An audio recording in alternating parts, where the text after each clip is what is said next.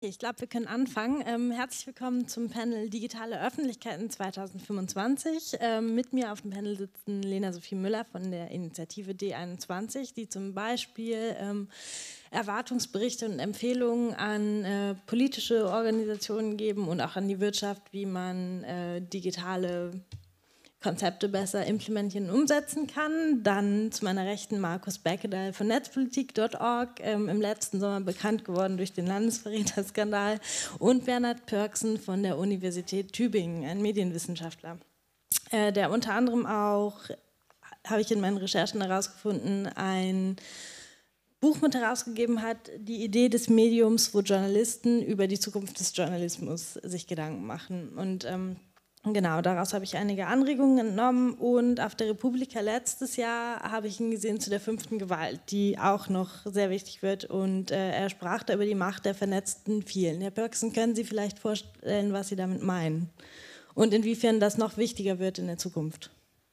Na, ich glaube, dass sich ähm, in der Zukunft, aber auch schon in unserer gewissermaßen medialen Gegenwart neben die vierte Gewalt des klassischen Journalismus, der durch Enthüllungen wirkt, durch kritische Berichte wirkt, der ein institutionalisiertes Zentrum hat, dass da allmählich sich eine fünfte Gewalt, ein Stichwort, das ja auch Markus Beckedahl angeregt und ausgearbeitet hat, eine fünfte Gewalt der vernetzten vielen schiebt, die bestimmt das die Agenda in der Mediengesellschaft mit, die treibt das Tempo voran, steigert die Geschwindigkeit. Diese fünfte Gewalt wirkt als Meinungskorrektiv. Diese fünfte Gewalt, denken Sie an die Plagiatsenthüllung, recherchiert selbst. Diese fünfte Gewalt äh, kritisiert die klassischen Medien, betreibt Medienkritik. Man denke an die Ukraine-Berichterstattung, den German Wings. Ähm, Flugzeugabsturz oder ähm, ganz aktuell an die Diskussion über die Flüchtlingskrise. Diese fünfte Gewalt findet sich auch mitunter zu einem hässlichen Mobbing-Spektakel zusammen, auch wenn es falsch wäre, alles, was einen da erreicht an Stimmen und Stimmungen, immer sofort gleichsam mit einem Pauschalvokabular ähm, abzuwerten. Für mich ist es sehr interessant zu sehen, letzter Punkt, letzter Satz dazu, dass diese fünfte Gewalt aus meiner Sicht ein neues Organisations- und Vergemeinschaftsmuster hat. Ich würde sagen, im Unterschied zu einem Kollektiv, wo Sie eine Hierarchie haben, wie in einer Partei, ähm, mehr oder minder klare Innen-Außengrenzen, eine gemäßigte Individualität all der Teilnehmer, haben Sie in der fünften Gewalt das Muster des Konnektivs. Man findet sich zusammen im Teilen, im Austausch von Informationen, man gruppiert sich um einen gemeinsamen Hashtag, um eine Petition, um ein Protestschreiben, was auch immer, aber es gibt gleichsam kein hierarchisches Zentrum. Niemand kann jetzt sagen, auch in der Aufschreidebatte nicht, lass mal deine blöden Tweets jetzt, das passt hier im Moment nicht so rein. Nein, es ist eine Gleichzeitigkeit und das ist als Gemeinschafts- und Vernetzungsmuster für mich sehr interessant zu sehen, es ist eine Gleichzeitigkeit von Individualität, mein Foto, meine Geschichte, mein Tweet, mein Posting, mein Text und ähm, äh, Gemeinschaftsbildung. Also diese Gleichzeitigkeit, Sascha Lober hat mal gesagt, als ich diese Idee da mit ihm diskutiert habe, Teil einer Welle sein und doch als einzelnes Teilchen glänzen. Das ist für mich so etwas wie eine Spur um das Attraktivitätsgeheimnis dieses Typs von Gemeinschaft, das sich in der fünften Gewalt ausdrückt, zu finden, das Konnektiv. Ähm, das sind jetzt erstmal die sehr positiven Seiten. Ich, was ich als negativ empfinde, ist, dass ja offensichtlich ein relativer Unterschied zwischen Öffentlichkeit oder einer Teilöffentlichkeit und der Demokratie als Gesamten beispielsweise besteht oder auch ein Unterschied zwischen Meinungsaustausch, der nicht über ein Abrücken von den eigenen Positionen herausgeht und äh, politischer Partizipation oder Legitima Legitimierung. Äh, wie, wie kann man das überbrücken? Also gerade in Foren oder so wird äh, bei kritischer Berichterstattung dann die Kommentarfunktion ja eher, also es wird so empfunden, als würde sich nur ein Mob an einer Diskussion, Diskussion beteiligen. Ja, gerne. Und auch äh, Markus und Frau, Frau Müller. Vielleicht ein Gedanke dazu. Also wir haben ja in der Medienwissenschaft viele hässliche, mehr oder minder sinnvolle Begriffe, um die aktuelle Medienentwicklung zu charakterisieren. Und ein Begriff, den wir ähm, haben, um diese digitale oder die durch die digitalen Medien ausgelöste Transformation so beschreiben, ist der Begriff der Disintermediation. Disintermediation, ein scheußlicher Begriff, zugegebenermaßen. Was meint er? Er meint das, den Bedeutungsverlust von Vermittlern. Anders gesagt, die klassischen Gatekeeper verlieren an Einfluss, jeder kann sich zuschalten, jeder kann teilnehmen.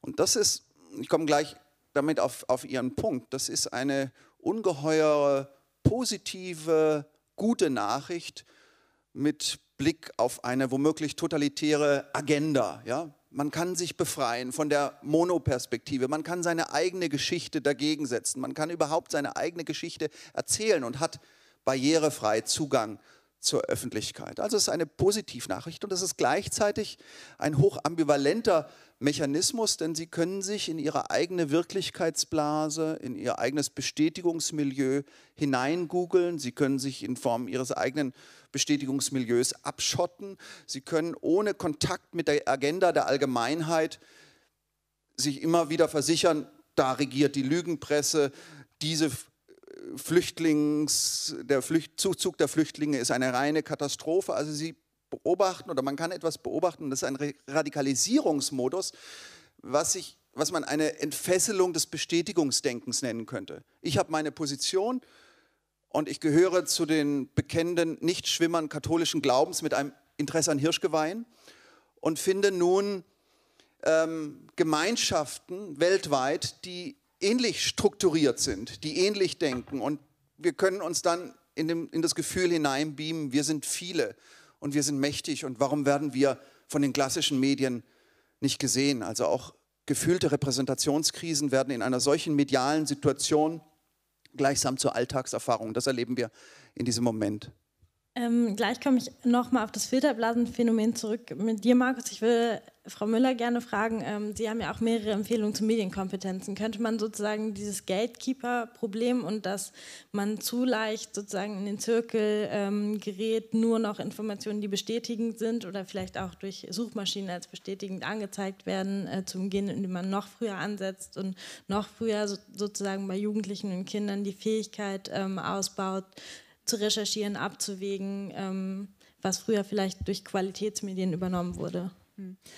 Ähm, vielleicht zu dem Begriff der Medienkompetenz, weil ja. der, der, ganz unterschiedlich verwendet wird. Ähm, ich glaube, dass, ähm, oder so, so ich, ich, ich, gebe mal ein Bild, so wie ich ihn äh, sehe, nämlich sehr breit, dass, äh, dass Medienkompetenz bei weitem nicht nur eine Technikkompetenz ist und es deswegen auch falsch ist, wenn wir sagen, dass die Jugendlichen, die heute mit ähm, Smartphones und Co. aufwachsen, das einfach schon automatisch haben, sondern da gehören andere Dinge dazu. Ich gebe ein paar Beispiele.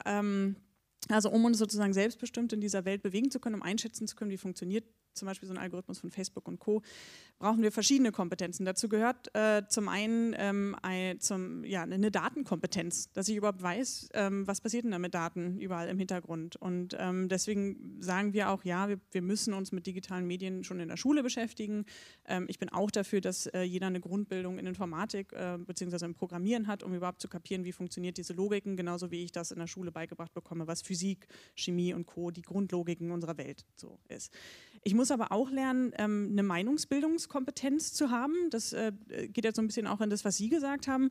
Natürlich funktioniert Meinungsbildung dann im Netz vielleicht ein bisschen nach anderen Logiken. Und da muss ich, ähm, da muss ich reflektiert rangehen, da muss ich äh, mir das angucken. Bedeutet, ich brauche auch eine Informations- Kompetenz. Ähm, also wir haben heute eine andere Welt, auch eine andere Welt, in den Kindern aufwachsen oder auch wie wir uns bewegen. Früher hatten wir die klassischen Gatekeeper, die du gerade angesprochen hast. Äh, als ich irgendwie noch in der Schule war, dann habe ich halt irgendwie geguckt, was hatte ich da irgendwie am Brockhaus äh, zu Hause oder ähm, an Büchern in der Bibliothek oder wie auch immer. Oder ich habe mir halt die Zeitung angeguckt und dann war irgendwie so ein bisschen, hat man das mitbekommen, na gut, irgendwie die Süddeutsche und die FAZ, das sind irgendwie schon so Qualitätszeitungen. Und wenn ich dann jetzt irgendwo, nenne ich jetzt mal keine, aber in einer anderen Zeitung gucke, ist vielleicht das jetzt nicht so super toll recherchiert. Und das das, diese, diese Gatekeeper-Funktion haben wir erstmal nicht. Wir haben erstmal eine, eine, eine, viel, also eine Vielzahl von Informationen, was super ist, bedeutet aber auch, wir müssen lernen, diese Informationen zu bewerten im Netz, kritisch zu hinterfragen. So. Ähm, wir müssen ähm, eine Rechtskompetenz oder ein Rechtsbewusstsein auch in der digitalen Welt für uns entwickeln, um uns da selbstbestimmt zu bewegen. Heißt zum Beispiel, ähm, weiß ich jetzt, ein simples Beispiel, aber ich muss, äh, wenn ich so auf, auf Konferenzen bin, immer noch, denke ich immer so, wow, wenn jetzt hier ein Rechtsanwalt sitzen würde bei der Präsentation, der kann dich irgendwie bei mindestens drei deiner Bilder abmahnen, weil man halt irgendwie denkt, so Copy-Paste, zack, aus dem Netz irgendwie in die Präsentation rein.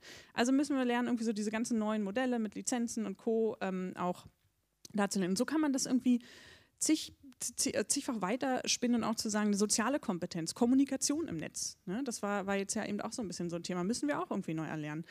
Wo lernen wir all diese Dinge? Ich fasse das immer so ein bisschen gern zusammen unter einem digitalen Bauchgefühl, was wir haben müssen, um uns da zu bewegen. Die lernen wir ganz oft sozusagen schon in, in frühen Kindheitsjahren, weil wir soziale Normen lernen, die wir von den Eltern auf den Weg gegeben bekommen. Das fängt an bei ähm, mach den Mund zu, wenn du, äh, ähm, äh, wenn du isst, irgendwie sprich nicht. Ne? Äh, oder steh, ähm, in, in, wenn man irgendwie mit den Öffentlichen fährt, so wenn eine ältere Person kommt, dann steh da mal auf und biete der den Platz an. Das sind so Dinge und das ist im Netz dann genauso. Wir müssen sozusagen so soziale Normen, was ist denn anerkannt, was ist nicht anerkannt, müssen wir mitentwickeln. Und ähm, jetzt weiß ich nicht, ob ich die Frage beantwortet habe, weil ich mich Doch. schon wieder so in, in Rage geredet habe, aber ähm, will sagen, Medienkompetenz müssen wir breit fassen, müssen diese Komplexität, die uns auch die digitale Welt gibt, müssen wir da äh, genauso komplex mit betrachten. Äh, Stichwort Medienkompetenz und Rechtssicherheit auch auf der Produzentenseite. Markus, ähm, Netzpolitik ist ja jetzt mittlerweile elf Jahre alt und ähm, sozusagen an den letzten elf Jahren kann man schon ein bisschen die Verschiebung der Wahrnehmung in der Öffentlichkeit erkennen. Es ist ja wahrscheinlich zu erwarten, dass es immer weniger Zeitungen geben wird und äh, immer mehr Online-News oder Blogs und so weiter. Und es ist, ähm, teils wird ein ganz merkwürdiger Antagonismus aufgemacht zwischen beiden. Ähm, sozusagen, was habt ihr denn in den letzten zehn Jahren gelernt und, und wie geht ihr damit um? Also ähm, war dir schon vorher klar, wie du dieses Blog betreiben wirst, äh, willst und wie du das äh, auch in den nächsten fünf Jahren vielleicht tust, wo immer mehr Aufmerksamkeit ähm, teilweise dann auch äh, auf dem liegt, was ihr schreibt? Also es fällt mir schwer, im Internet länger als ein oder zwei Jahre in die Zukunft denken zu können. Ja. Natürlich hat man oder kennt man diverse Trends, aber meistens ähm, passiert irgendwas, womit man nicht äh, gerechnet hat und das verändert wieder alles. Das ist zumindest meine Erfahrung in den letzten zehn Jahren. Ähm, Netzpolitik.org ist ja eher als Linkschleuder gestartet, wo ich einfach äh, Links rein kuratiert habe, wo ich der Meinung war, andere, die sich für das Thema interessieren, ähm, können da einen Ort finden, wo alles um das Thema zusammengefasst wird. Was ich am Anfang nicht damit intendierte, war, dass wir mal zu einem eigenen Medium werden. Es war einfach nur so, also damals gab es halt kein Twitter oder sonst wie. Möglicherweise hätte es damals Twitter gegeben, hätte ich einfach nur einen Twitter-Account gemacht, ähm, um halt diese Links irgendwie zu verteilen. Dadurch, dass wir aber so einen Blog hatten und ein Blog halt eine Allzweckwaffe ist quasi, man kann mit einem Blog halt eine Linkschleuder machen, man kann da seine Liebesbriefe reinstellen, man kann irgendwie auch ein riesiges Medium damit machen. Ähm, das ist wie ein Blatt Papier, und man ja auch alles Mögliche machen kann, gab uns das halt äh, als ja, technologische Basis immer mehr Möglichkeiten, auch mal längere Texte auszuprobieren, mit Audio auszuprobieren, äh, Video auszuprobieren. Und so wurden wir halt allmählich zu Journalisten. Allerdings nicht dadurch, dass wir halt eine klassische journalistische Ausbildung durchlaufen haben, wie das, sagen wir mal, früher üblich war, sondern bei uns war es eher so Learning by Doing, Tasten drücken, beobachten, wie funktioniert eigentlich Journalismus und das halt in einem Zeit, äh, zu einem Zeitpunkt, wo, sagen wir mal, der klassische Journalist auch erstmal lernen musste, Knöpfe zu drücken im Internet, ähm, weil man das ja auch nicht wusste. So, ne? Also das ist ja diese Medienkompetenz ähm, die wir zu einem gewissen Teil trainiert haben. Aber wenn man dann irgendwie die notwendige Technikkompetenz noch braucht und sich die Öffentlichkeiten die ganze Zeit verändern, man ein Gefühl dafür ermittelt, ähm, äh, also bekommen muss und gleichzeitig auch ähm, rumspielen muss, weil es gibt diese Anleitungen ja nicht, ähm, wie mache ich eine Zeitung äh, online, sondern alle stehen irgendwie da und wissen halt, ja, alles verändert sich alle müssen sich irgendwie anpassen. Es gibt nicht die eine Blaupause, sondern jeder muss halt für sich sein eigenes Modell finden, wie man publiziert, ähm, wie man sich aufstellt, welche Publizierungswege man überhaupt nimmt und wie man sich finanziert.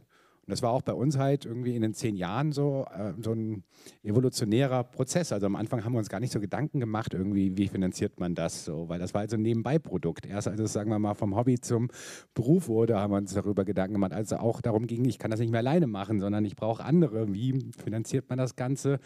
Ähm, waren halt so Fragen und ähm, gleichzeitig kommen dann halt neue Plattformen. Geht man auf Facebook oder nicht? Ist das jetzt evil oder nicht? Ähm, macht, äh, wie ergänzt Twitter sozusagen das einen äh, Blog? Kannibalisiert man sich, wenn man auch noch mal woanders ist oder bringt das halt Vorteile sozusagen?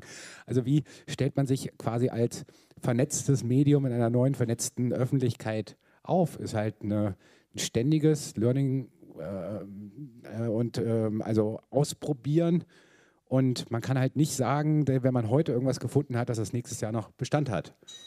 Na, ähm, ich würde gleich auch nochmal auf die Finanzierungsmodelle zu sprechen kommen, ähm, die mir vor allem unter dem Gesichtspunkt wichtig erscheinen, Nachrichtliches gegen Investigativrecherchen, ähm, Meinungsstücke, also ähm, sozusagen das, was als Zukunftsvision ja teilweise schon in der Forschung oder so ähm, bezeichnet wird, sind Roboterjournalisten oder so, die vielleicht Sportartikel schreiben können, aber ähm, ich weiß nicht, du bist der einzige praktizierende Journalist ähm, gerade. Hast du Angst, dass du ersetzt wirst oder ist dein Arbeitsbereich sowieso fern von all dem? Also ich habe nichts dagegen, wenn Roboter Teile meiner Arbeit irgendwann mal übernehmen können, dann habe ich nämlich mehr Zeit hoffentlich für andere Dinge. Weil, sagen wir mal, Roboter können ja vor allen Dingen wiederkehrende Aufgaben oder langweilige Aufgaben machen. Ne? Deswegen werden sie auch gerade, sagen wir mal, am ehesten so im Sportbereich ausgetestet, weil, sagen wir mal, die Wiedergabe von ähm, Fußballspielen anhand von irgendwelchen Daten, ähm, die man da hat, das Spiel ist 90 Minuten lang, zwei Halbzeiten, irgendwie dann fallen halt Tore von irgendwie, also, äh, das ist alles, sagen wir mal, jetzt nicht so komplex. Wenn es um den reinen Spielverlauf, also wenn es um äh, reine Ergebnisse gibt, da wird man wahrscheinlich kaum einen Unterschied feststellen, ob das jetzt der Praktikant gemacht hat, der Top-Journalist oder ein Roboter. Die Frage ist halt, will das das Publikum? Weil es äh, gibt halt auch Teile des Publikums, die eine gewisse Emotionalität bei der, äh, bei, ähm, ähm, so der Wiedergabe des Erklärens des Spielverlaufs haben wollen beim Fußball. Und ähm, die werden sich wahrscheinlich nicht so sehr damit zufrieden geben, ähm, quasi Roboterberichte zu lesen. Ähm, in meinem Fall ist es halt so, sagen wir mal, wenn es halt darum geht, einfach mal äh, Sachen wiederzugeben, wie es gab jetzt eine Bundestagsdebatte und irgendwie hier sind die Videos in chronologischer Form von den äh, Abgeordneten. Äh, das hätte ich gern alles automatisiert, weil das kostet mich irgendwie äh, trotzdem mal eine Stunde Zeit an Copy and Pasten und Suchen und sonst irgendwie, äh, ohne dass ich mich jetzt inhaltlich mit der Bewertung damit beschäftigt habe. Die Bewertung aber selbst, was sie gesagt haben, die Einschätzung, die Analyse, sozusagen die Einordnung, das ist etwas, das werden so schnell Roboter nicht erledigen. Und wenn, na gut, dann muss ich mir halt was anderes suchen, dann habe ich halt mehr Zeit. Okay, allgemeine Frage in die Runde, ähm, auch hin, hinsichtlich Automatisierung, aber ähm, inwiefern ist in den letzten zehn Jahren oder fünf Jahren wahrgenommen worden, dass sich die Geschwindigkeit im Journalismus verändert hat oder auch in der Kommunikation mit der Öffentlichkeit? Und inwiefern liegt in dieser Geschwindigkeit für die äh, journalistische Sorgfalt eine Gefahr? Also als jüngstes Beispiel vielleicht, ich habe ähm, in der Recherche gesehen, äh, die Welt hat getitelt über die Anschläge in äh, Frankreich, dass ähm, offensichtlich die Terroristen Touristen ähm, sich mit einem gestohlenen äh, Ausweiszugang nach Frankreich äh, beschafft haben und dann haben sie zweimal korrigiert innerhalb von einer Stunde und man konnte es halt die Schlagzeilen, die im Internet halt nachzuverfolgen war, untereinander gelegt sind. Und also inwiefern geht Aktualität auf die Kosten von Qualität und ist Aktualität immer notwendig? Herr Paxton vielleicht als erstes. Ja, für mich zeigen solche Extremereignisse wie Attentate oder auch der Flugzeugabsturz gewissermaßen die grundsätzlichen Zielkonflikte des Journalismus, die eigentlich immer bestehen, aber in diffuserer, nebulöserer Form bestehen, nochmal in einer radikalisierten Form. Und das ist der Grundkonflikt in dem Fall zwischen Geschwindigkeit und Genauigkeit. Es gibt den Wettlauf um den Scoop, wer hat die Deutung als erstes, wer hat die Geschichte als erstes, wer hat die News als erstes. Also das ist die Taktung durch eine ganz neue Geschwindigkeit und das gibt die Verpflichtung, auch um den eigenen Markenkern nicht zu beschädigen, um die eigene Glaubwürdigkeit nicht zu ruinieren, die Verpflichtung zu einer Genauigkeit und zu präzisen Informationen. Und für mich sind extreme Ereignisse wie Attentate immer ähm, die Momente, an denen dann ja, das in die eine oder andere Richtung ausschlägt. Das gab gibt den ehrenwerten Typus des Journalisten, der dann auf Sendung geht und sagt, wir haben nichts zu sagen, wir haben nichts zu sagen, wir haben nichts zu sagen und wir wissen es noch nicht genau und wir spekulieren nur und wir spekulieren nur. Das ist aber muss man auch fairerweise sagen, nicht abendfüllend. Es gibt gleichzeitig in, bei, im Falle dieser Extremereignisse, sehen wir sehr genau an den Klickzahlen, auch bei den ähm, seriösen Plattformen, einen wahnsinnigen Hunger nach Information, nach Ad-Hoc-Einordnung und Orientierung. Und dann gibt es den anderen Typus, der sich vorschnell vorwagt. Was kann man da tun? Ich glaube tatsächlich, das ist nicht nur eine journalistische Herausforderung, sondern auf Dauer eine gesellschaftliche und gesellschaftspolitische Herausforderung, auch im Sinne einer Art Medienmündigkeit. Wir müssen als Gesellschaft lernen, anders, besonnener, klingt ein bisschen pastoral, aber egal, besonnener mit Ungewissheit umzugehen. Die Grenzüberschreitungen passieren immer dann, wenn so ein Ungewissheit, so ein Fakten-, ein Deutungs-, ein Visualisierungsvakuum, Informationsvakuum entsteht und dann springen irgendwelche Journalisten rein und fotografieren nochmal schnell, damit man ein paar Bilder hat, die trauen an Schülern. Oder dann versuchen sie zu sehen, okay, wir haben bei Christian Wulff da in seinem Haus noch einen zweiten Bobbycar gesichert. Wumm, geht diese Meldung durch die Decke. Zweiter Bobbycar bei Christian Wulff, wo hat er den her entdeckt? Oder im Falle des Boston-Attentats, um nochmal ein Beispiel, das etwas zurückliegt, zu wählen, werden dann Unschuldige, übrigens auch von den klassischen Medien in massiver Weise mit verdächtigt und äh, in den sozialen Netzwerken gejagt. Und das, sind, das zeigt für mich die grundlegende, oder das hält für mich die grundlegende Einsicht bereit, diese Mediengesellschaft und diese digitale Gesellschaft wird immer dann grausam, wenn sie versucht, das Ungewissheitsproblem viel zu schnell und letztlich unseriös und auf schmutzige Art und Weise zu lösen. Und das gilt für die alten wie für die neuen Medien gleichermaßen. Da produziert man die Grenzüberschreitungen. Okay, also es ist äh, kein, kein, keine Frage des Mediums, sondern der Ethik sozusagen. Ähm, Frau Müller, mir ist gerade noch eingefallen, ähm, Viele Jugendliche beziehen ja ihre oder, oder jüngere Menschen ihre Nachrichten, habe ich in einer Studie gelesen, ähm, auf Facebook neuerdings. Und dann würde sozusagen die technischen Implikationen zu tragen kommen. Ähm, Algorithmenethik, wie, wie geht man damit um? Also, dass bestimmte Ereignisse höher angezeigt werden als andere und dass man selber sich nicht mehr sicher sein kann, ob das ähm, sozusagen die relevantesten Ergebnisse sind. Also ein, eins würde ich gerne vorwegschieben, ist, dass wir uns erstmal mal nochmal bewusst machen müssen, auch über die Themen, die, über die wir jetzt reden und auch über das, das Thema, ne? irgendwie erfahre ich meine Nachrichten zuerst aus Twitter und Co., ist alles noch ein sehr kleiner Teil der Bevölkerung, der ähm, sozusagen da schon so, so digital affin ist und ähm, kann man so sagen, so 36 Prozent der Bevölkerung sind digital erreicht, können sich das alles so richtig erschließen. Die anderen erkunden es an vielen Stellen noch. Also wenn wir sagen, wir alle hier sind wahrscheinlich jetzt auch nicht repräsentativ für die, für die Bevölkerung und unser Kon Informationskonsumverhalten und Co. auch nicht wahrscheinlich.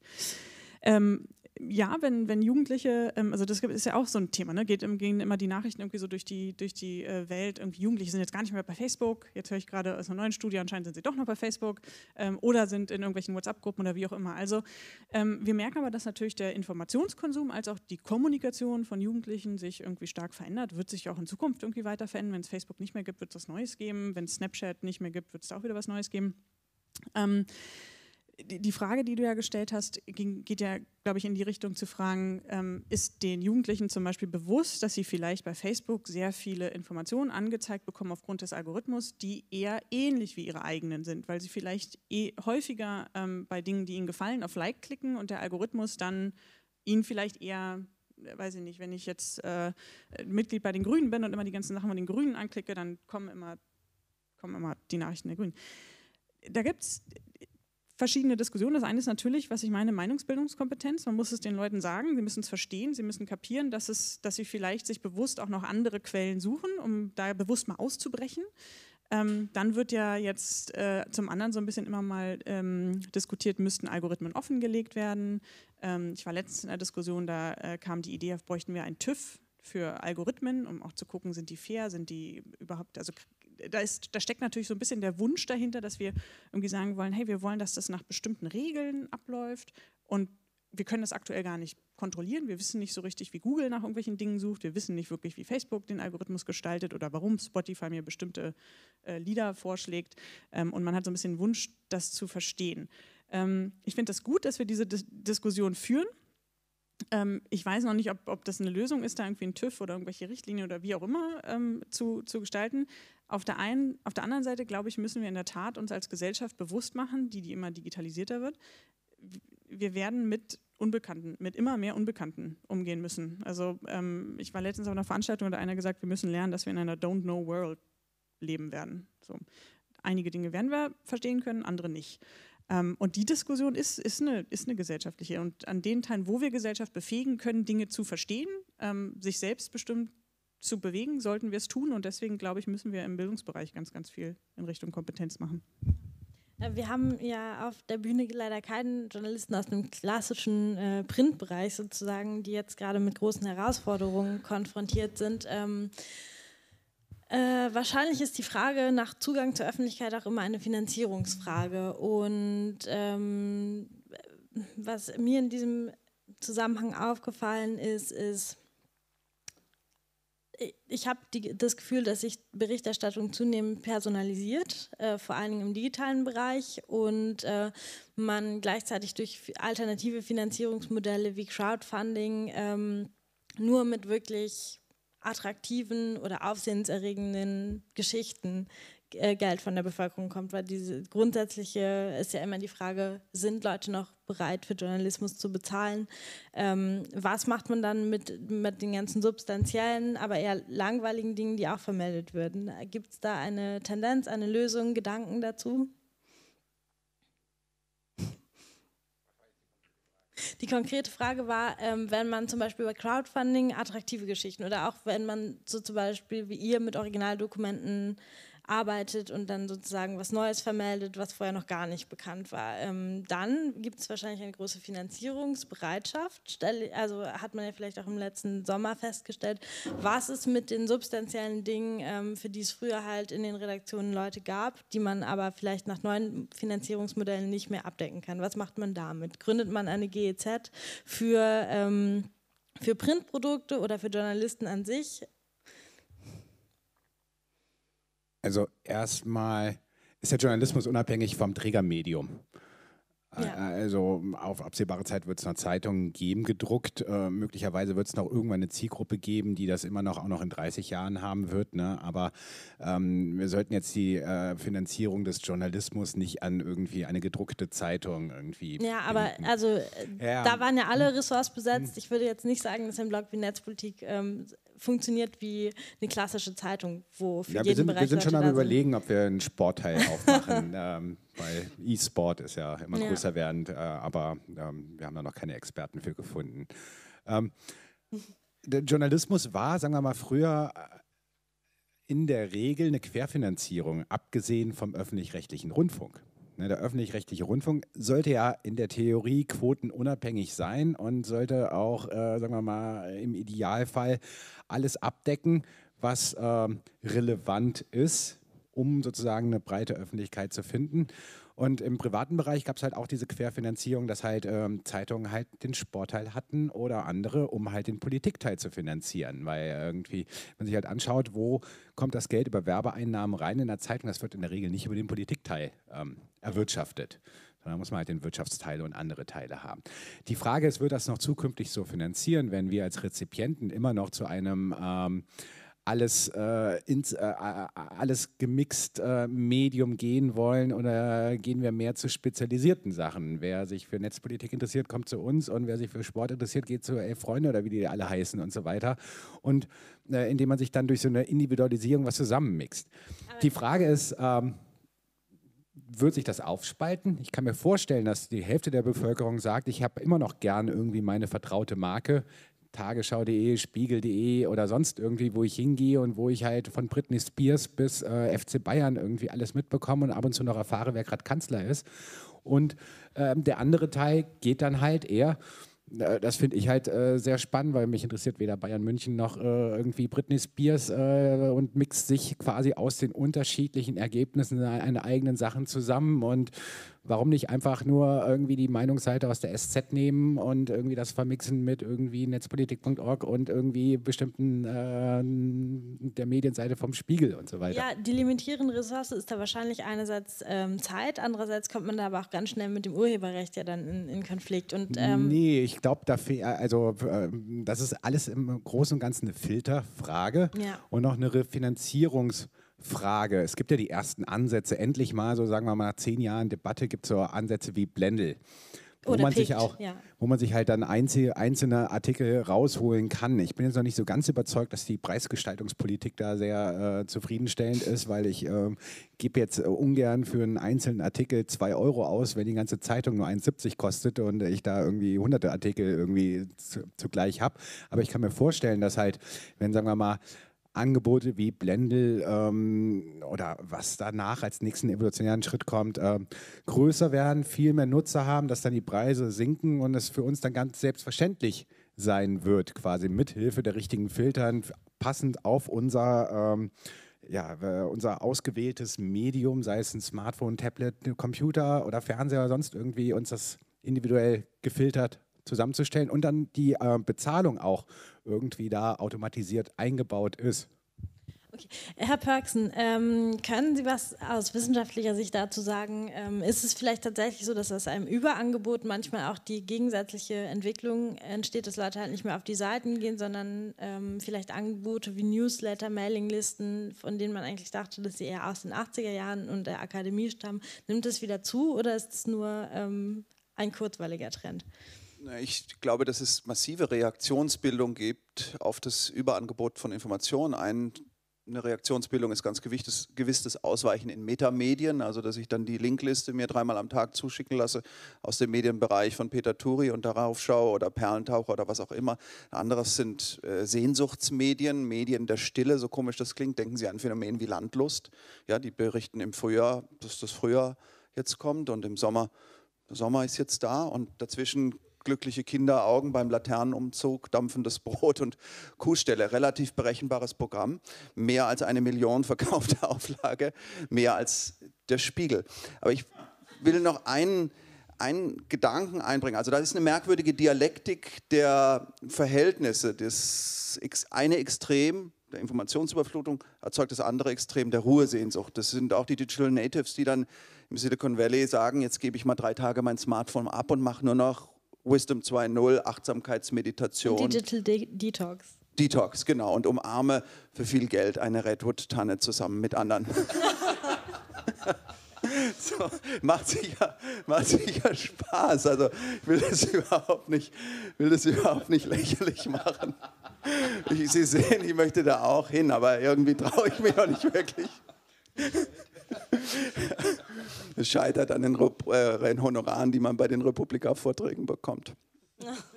ähm, äh, ich will auf einen Mechanismus noch heraus. Also ich sehe das äh, total als total wichtig an, was du gesagt hast. Man muss diese neuen äh, Finanzierungsmodelle suchen und äh, dann eventuell für den einzelnen Artikel bezahlen. Aber es ist doch ein grundsätzlich anderer Mechanismus der Öffentlichkeitsentstehung. Es ist eine vielleicht Abfrageöffentlichkeit. Ich habe eine Frage und suche die Antworten zusammen.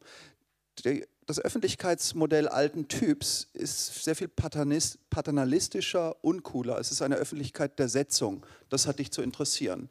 Und wenn du dich nur für die Finanzen interessierst, lieber Leser der FAZ, du kriegst es implizit mitgeliefert, dass es Kultur gibt, weil das Feuilleton liegt da noch bei. Also es ist eine Öffentlichkeit. Ja, aber ich muss es immerhin noch ich muss mich mit diesen Setzungen der Redaktion auseinandersetzen. Und da habe ich selbst noch keine Antwort. Also wie vermittelt man zwischen dieser befreienden Wirkung einer Abfrageöffentlichkeit und den aber auch notwendigen ähm, alten Mustern einer Setzungsöffentlichkeit, die mich darauf aufmerksam machen. Es ist aber wichtig, dass du dich damit beschäftigst. Es ist für die Agenda der Allgemeinheit wichtig, dass wir nach wie vor unabhängig von den total miesen Klickzahlen Berichterstattung über den Nahen Osten haben oder so etwas in der Art. Also wie vermitteln wir zwischen Abfrage, Öffentlichkeit und der äh, Antwort Öffentlichkeit, ohne dass es eine Frage vorher gab, alten Typs? Ja, das stimmt sicher. Vielleicht auch, ähm, weil man ohne Printmedien wieder bevorzugen zu wollen oder irgendwie Partei dafür zu ergreifen. Äh, solange es halt Kiosk gab, hat man wenigstens im Vorbeigehen alle Schlagzeilen wahr, wahrgenommen. Und ähm, durch die technologische Verfasstheit von bestimmten Medien wird es halt und Hintergang ausgeschlossen und ähm, vielleicht muss man sich da tatsächlich was überlegen.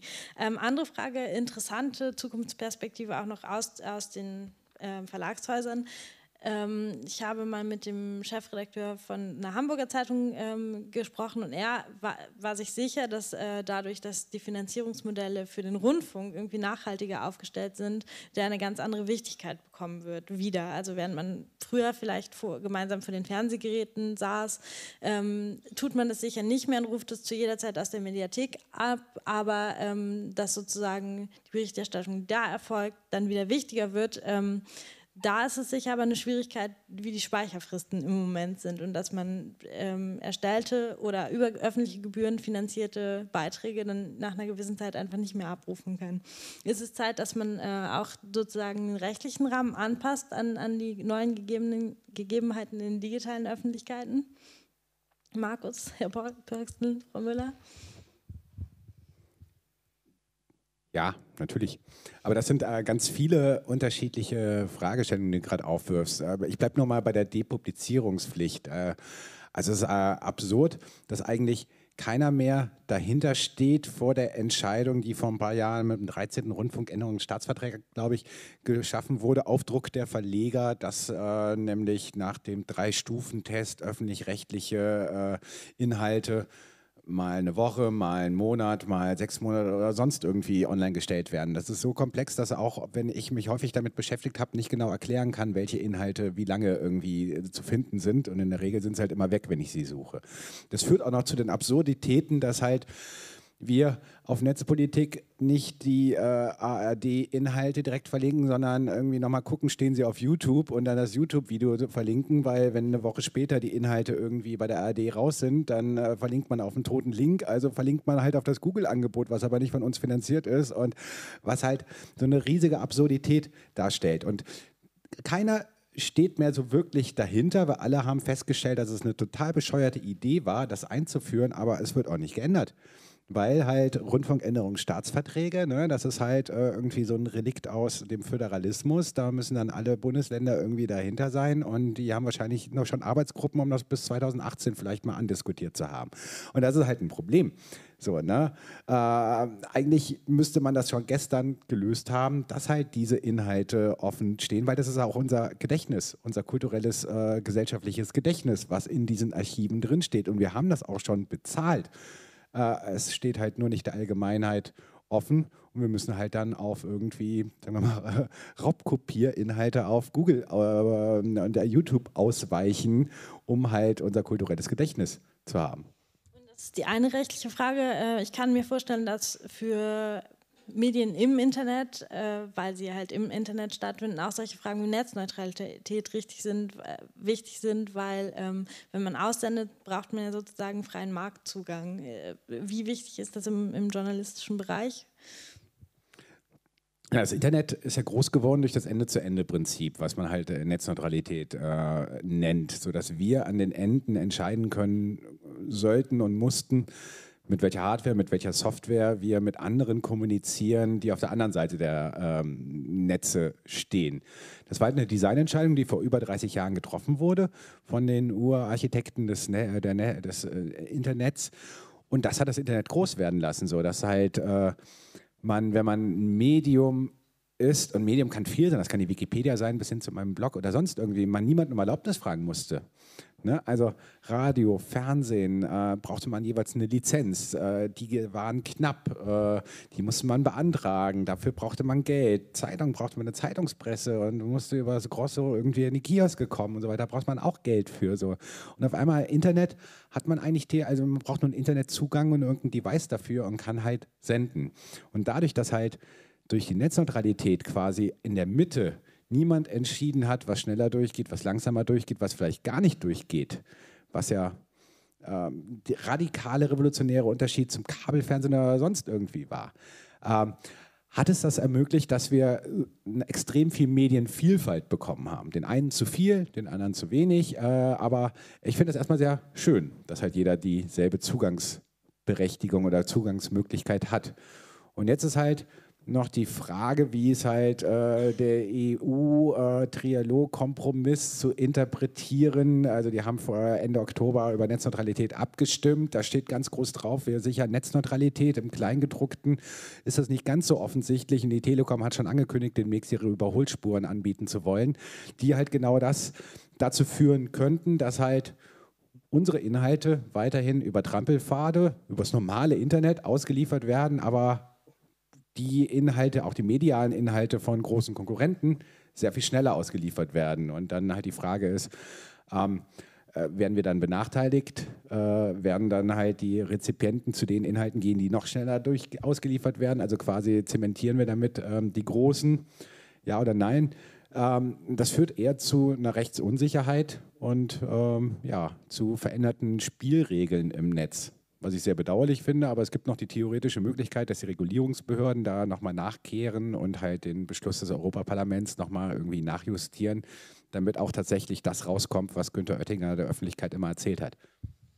Jetzt habe ich mir gerade noch aufgeschrieben zu, den, äh, zu der veränderten Medienkonsumption sozusagen, wenn man bestimmte Dienste dafür nutzt. Ähm, und sich vielleicht über Twitter organisiert oder so. Und wir leben jetzt in einer Demokratie, da ist das alles abgesichert durch ähm, irgendwie Meinungs- und Pressefreiheit größtenteils. Wenn man aber in, in andere Staaten guckt, die vielleicht äh, demokratieferner, möchte ich es äh, nennen, sind, dann kann dadurch, dass es halt nicht dezentralisiert ist, ähm, relativ leicht halt verfügt werden, dass solche Dienste abgeschaltet werden. Ähm, die eine Frage wäre, wie schafft man sozusagen eine robuste äh, Gegenöffentlichkeit, die ähm, sich nicht technologisch beschneiden lässt.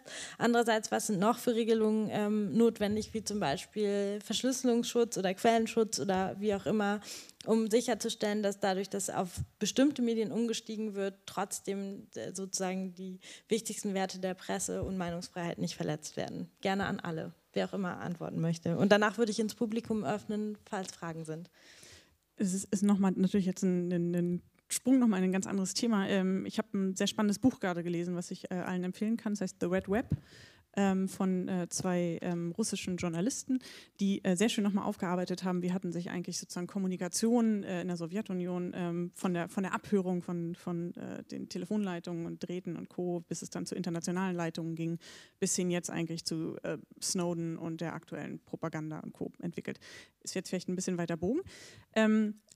Aber ähm, da wurde nochmal so ein bisschen schön herausgearbeitet, dass man natürlich gesehen hat, ähm, wir leben in einer Demokratie. Klar, bei uns äh, Meinungsfreiheit, Pressefreiheit und so. Und erstmal soll jeder irgendwie Zugang zu den Informationen haben, ähm, frei. Ähm, ist jetzt vielleicht in anderen, anderen Ländern nicht so. Jetzt ist die Frage, ähm, wie, wie kann man, also was verändert sich durch die Technologie? Und in diesem Buch ist sehr schön beschrieben, dass natürlich ähm, jetzt zum Beispiel in Russland es viel schwieriger wurde, äh, die, die Informationen zu unterdrücken ähm, seitens des Staates ähm, gerade auch als die Plattform aufkam. Ähm, also gerade auch als diese Kommunikation dann halt nicht mehr sozusagen eine E-Mail, die an jemand anders geschickt wurde, die man irgendwie abfangen konnte oder unterdrücken konnte oder irgendeinen Dienst sperren konnte in Russland, sondern wenn man gesagt hat, naja, jetzt sind die plötzlich bei Facebook, die Server sind irgendwo in den, in den USA und der Staat hatte gar nicht mehr so sehr die Möglichkeit zu sagen, ah super, wir kontrollieren das jetzt hier alles mal oder wir blocken hier irgendwie was. Plus die Player wurden auch so groß, dass sie natürlich auch äh, eine Macht hatten. Also durch die Technologie haben wir natürlich auch ein Stück weit irgendwie da neue, neue Machtlogiken. Ne? Ähm, was dann interessant, wenn man sich äh, vor diesem Hintergrund übrigens nochmal die, die Snowden-Enthüllungen ähm, ins Gedächtnis ruft und sich überlegt, dass auch Russland damals dann natürlich das Stichwort digitale Souveränität gefordert hat und alles schön hier auf russischen Servern zu speichern, spielt dann natürlich auch ein Stück weit mit, dass man es besser kontrollieren kann als Staat. Ähm, also ja, diese, diese Logiken ähm, verändern sich und Technologie hat die Möglichkeit, ähm, Demokratie fördernd zu wirken. Ähm, man muss sich aber auch bewusst machen, was wir ganz am Anfang hatten, mit sozusagen, es sind dann manchmal halt auch Teilöffentlichkeiten. Aber auch das ist eigentlich nicht, nichts Neues in, in der digitalen Welt, auch wenn wir eine Bürgerbeteiligung haben, irgendwo in Buxtehude und dann äh, ist da von äh, 11 bis 12 Uhr in einer Turnhalle, irgendwie kann man sich beteiligen und ich bin halt arbeiten, dann kann ich da auch nicht hingehen. Beziehungsweise auch bei Beteiligung sind es oft die Leute, die betroffen sind, die da hingehen. Ne? War irgendwie ein schönes Beispiel in Berlin, der Bello-Dialog, natürlich haben sich nur die Hundebesitzer da beteiligt und nicht die anderen. Äh, und das haben wir im Netz auch also ja, wir müssen es halt kritisch hinterfragen. Ähm, also es ist jetzt nicht so, dass das Netz und Technologie alles automatisch demokratischer macht. Ist, ist nicht so. Kann es aber. Okay, gibt es Fragen aus dem Publikum zu irgendeinem Thema? Okay, ähm, falls nicht, dann würde ich die Runde gerne schließen äh, mit einem Statement, wenn Sie sich die Medienwelt vorstellen würden in zehn Jahren oder überhaupt die Kommunikation mit der Öffentlichkeit. Was sind die Unterschiede zu heute? Herr Pörksner, dann Markus, dann Frau Müller. Es ist natürlich gemein, jetzt als Erster hier Visionen oder nicht äh, liefern zu müssen. Also traditionell ist es ja so, das hat ein weiser Mann mal gesagt, dessen Name mir leider entfallen ist, Wissenschaft arbeitet mit dem Rücken zur Zukunft. Also wir fangen Schmetterlinge ein und wenn sie tot sind und sich aufspießen lassen, dann beginnt gewissermaßen die Sortierarbeit. Wir betrachten die Muster, die in der Vergangenheit liegen und die gerade womöglich vergangen sind. Aber trotzdem eine Prognose. Ich habe zwei Vorstellungen. Die erste Vorstellung ist eine Dystopie, die die Elemente und ähm, Prinzipien des Öffentlichkeitswandels, die wir besprochen haben, in negativer Weise radikalisieren. Immer mehr Bestätigungs- und Selbstbestätigungsmilieus, eine Polarisierung von Öffentlichkeit, wie wir sie in Teilen der USA bereits haben, Extremisten, die sich ähm, in ihre Nischen zurückziehen und wissen einander zu bestätigen, Spektakelöffentlichkeiten, Trolle, Shitstorms, nicht mehr die Unterdrückung von Informationen, die wird schwieriger durch die technologische Infrastruktur, sondern ein permanentes Übermalen von Informationen auch in den westlichen Gesellschaften durch raffinierte PR-Strategen, ähm, die entsprechend die Suchmaschinen und die sozialen Netzwerke fluten mit ihren Erzählungen, die dann massiv geklickt werden. Das ist die Negativ- Geschichte, also Spektakelöffentlichkeiten, Fragmentierung und Polarisierung von Öffentlichkeit. Die Positivgeschichte ist, wir befinden uns in einem Übergangszustand, in einer Phase der mentalen Pubertät. Wir müssen eine neue Reife entwickeln im Umgang mit diesen neuen Medien und das wird eine Bildungsanstrengung gigantischen Ausmaßes sein, die auf der Ebene der Schulen, aber auch der Hochschulen, der Universitäten anzusetzen hat. Journalismus als Bewusstsein, was ist gute, sinnvolle, glaubwürdige, veröffentlichungswürdige Information, relevante Information. Journalismus in diesem Sinne verstanden, nicht als Profession, sondern als Bewusstseinszustand, wird zu einem Element der Allgemeinbildung. Wir alle verwandeln uns, gehen weg von der digitalen Gesellschaft hin zur redaktionellen Gesellschaft und treffen in reflektierter Art und Weise diese Entscheidungen. Und dann Letzter Punkt, letzter Gesichtspunkt findet hier in Berlin, Schöneberg, das Sommerfest der Freien Waldorfschule statt. Und da ist eine junge Mutter, die liest so ein Märchen vor und dieses Märchen handelt von Trollen. Und dann fragt ein kleiner Junge, was sind das überhaupt, Trolle? Und dann sagt die Mutter, ja, das sind so aus der Frühphase des Internets, so ganz giftige Gestalten, die immer nur Hass verbreiten. Aber heute, die gibt es längst nicht mehr. Vielen Dank. Markus? Ja, ein Teil hat Bernhard schon gesagt, auch, ähm, sagen wir mal, man kann jetzt nicht sagen, Zukunft liegt irgendwie, sieht so aus, man kann halt irgendwie versuchen, so Spektren aufzumalen. Es gibt halt so diese dystopische Ansicht, da teile ich deine zu teilen. Äh, ich würde aber noch mal mehr sagen, er kann kann auch sein, dass halt so eine dystopische Aussicht ist, wir werden noch mehr überwacht, wir werden noch mehr kontrolliert, wir verlieren die Souveränität über die Geräte, die wir nutzen. Das heißt, wir werden eigentlich nur noch mehr oder weniger zu Konsumenten, die zwar auch noch senden können, aber nicht mehr so wirklich die Kontrolle über alle Produktionswege haben, wie wir sie heute haben. Äh, kann auch sein, dass wir das äh, ganze Finanzierung des Journalismus nicht auf die Reihe bekommen, was äh, immer zu immer mehr Konzentration führen wird. Das heißt, immer weniger kontrollieren, was für Informationen wir bekommen und wir dann tatsächlich so eine Dystopie erleben, wie wir sie aus Science, der Science Fiction kennen. Aber ich bin halt auch gerne Optimist und ich kann mir auch vorstellen, dass wir das nochmal schaffen, diverse Grundrechte auch im digitalen Raum zurückzuerobern, durchzusetzen dass wir weniger überwacht werden, dass wir die Kontrolle über unsere Geräte haben, dass wir auch unabhängiger werden von immer weniger Plattformen, die unser Leben kontrollieren und die Regeln immer mehr vorgeben und die wir halt nicht wirklich rechtsstaatlich kontrollieren können, sondern die halt privatisierte Öffentlichkeiten darstellen, die selbstständig die Regeln ändern können. Und wir, also dass wir dieses Prinzip überwinden können, hin zu dezentralen, offenen äh, Kommunikationsnetzwerken, die halt wieder eher, sagen wir mal, den Utopien der, des frühen Internetzeitalters äh, sich annähern und gleichzeitig uns ermöglichen, in Verbindung mit äh, funktionierenden Finanzierungswege ähm, das äh, ja quasi ein neues goldenes Zeitalter des Journalismus zu entwickeln, wo wir dann tatsächlich nicht mehr so fremdbestimmt quasi von oben durchbekommen, was das hat euch zu interessieren, wo, äh, wo wir schaffen, irgendwie aus sehr vielen neuen Angeboten genau das zusammenzustellen, was uns interessiert, aber trotzdem noch irgendwie einen gemeinsamen Kern als das, was man so in der Medienwissenschaft Lagerfeuer nennt, irgendwie gemeinsam zu haben, nämlich die relevanten Themen, die man wissen muss, abseits davon, wer jetzt quasi in der Bundesliga gerade führt. Ich greife mal den, äh, den Titel auf, äh, digitale Öffentlichkeiten.